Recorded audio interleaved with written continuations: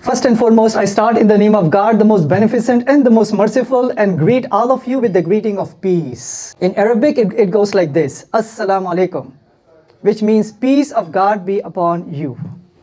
So, the basic tenets of Islam are four. The very first one is that we believe that there is only one God.